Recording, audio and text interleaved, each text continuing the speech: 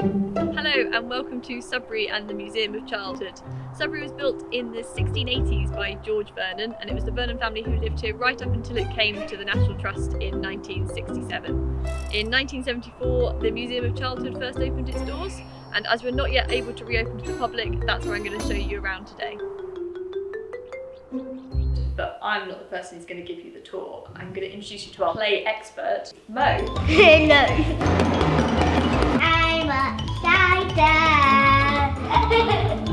It makes me look.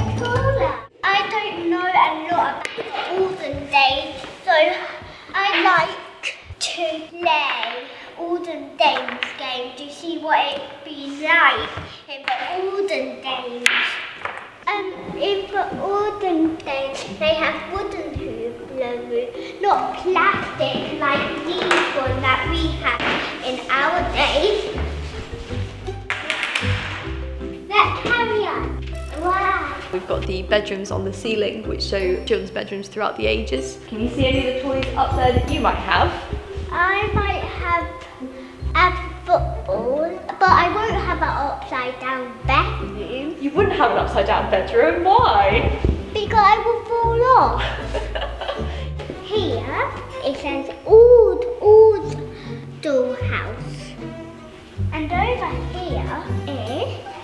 telephone so you can pretend to win someone. And over here is a really big pile of animals all in a line. And over here is an old village that I don't know. Uh, my favourite thing in this room is at all radio.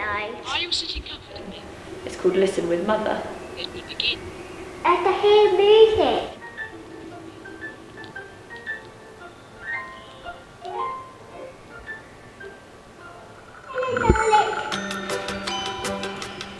Wow. What is it? So this is what I'm working on at the moment. So what I'm doing is I'm looking over each case one at a time. I'm getting objects out to make sure they're all okay. I'm giving them a clean with this. This is a pony hair brush, so it's really soft. Making sure they're all okay, cleaning all the shelves and then putting them back.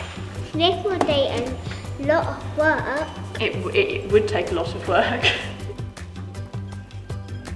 and then what you're going to do is very gently just give it a dust with the brush, that's it. Be really gentle. So the next thing we need to do, though is because we've, we've seen it, so we need to find it on the piece of paper here. So do you want to have a look through and see if you can find it? There it is. There it is. So do you want to get the pencil and give it a big tick? There we go. So we've just left where visitors are usually allowed to go. I'm going to carry on up the stairs all the way to the top until we get to the attics. We found them. Yay! So up here, Mo, up in the attics, is where we keep everything for the museum collection that's not on display. Okay. So we have so many toys and dolls' houses, but I'm going to show you a couple of my favourite things. All of the covers should have a picture of what's on there, so we know exactly what it looks like without having to take the cover off. But we're going to take the cover off, so if you go that side. So what do you think of him? I like him. I think he's very sweet. Here at the museum, we have lots of things that are on display, um, but a whole proportion of the museum is actually in store. Um, this is so that we can do changing exhibitions. Um, we're currently we're still collecting things for the museum, so they're not things that we necessarily put on display straight away. Um, we've also got a resource. So if anyone wants to come and do any research here, then we have items available for them to look at. What under here? This is my favourite rocking horse. So shall I show you? This is the kind of rocking horse that I wish I had as a child. I would like to go on that. I know, wouldn't we all? Unfortunately, it's very old, so we can't ride on it now. You want to give him a stroke? What do you think his name is?